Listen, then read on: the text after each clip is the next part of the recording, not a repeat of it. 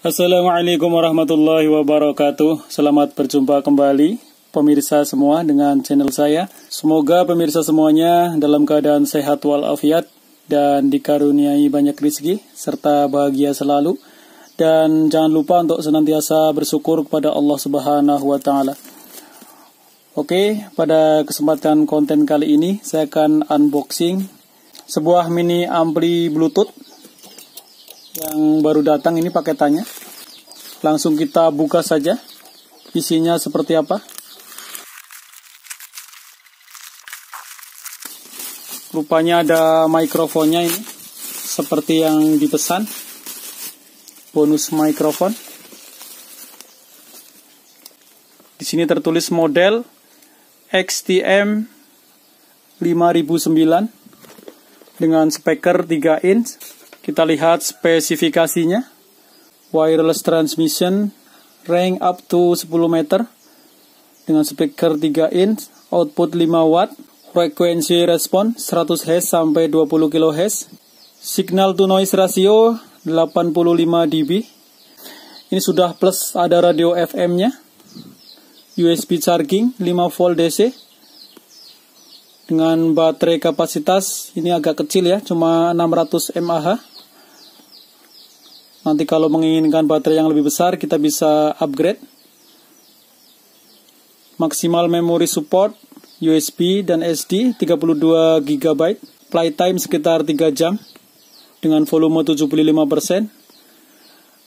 Charging atau mengecas ini lamanya 2 sampai 3 jam cukup. Ini murah meriah pemirsa. Dengan harga cuma 60 ribuan sudah termasuk ongkos kirimnya. Kita dikasih bonus mikrofon. Kita coba seperti apa.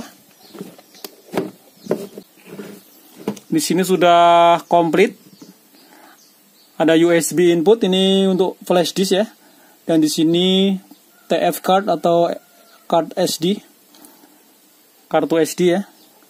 Ini untuk chargingnya. Sedangkan ini untuk aux atau line in ini adalah saklar on off-nya. Ini adalah untuk aux mode ya, line in. Oke, untuk aux ini juga bisa untuk input dari mikrofon. Oke, untuk line aux ini ya, atau line in, ini bisa digunakan juga untuk mikrofonnya ini ternyata. The Bluetooth device is ready to pair. Ya, kita coba. The Bluetooth device is connected successfully. Ya, sudah sukses terhubung ke perangkat HP. Kita coba Bluetooth-nya.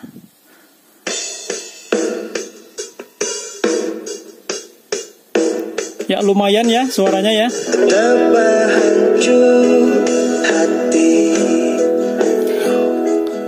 Dengan harga yang cuma 60 ribuan kita bisa menikmati hiburan musik dan lain-lain.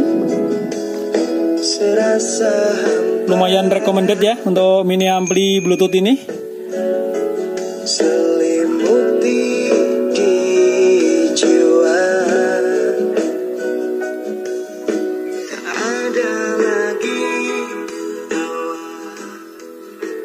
Oke, cukup sekian video saya untuk kali ini. Jangan lupa tonton konten-konten saya selanjutnya.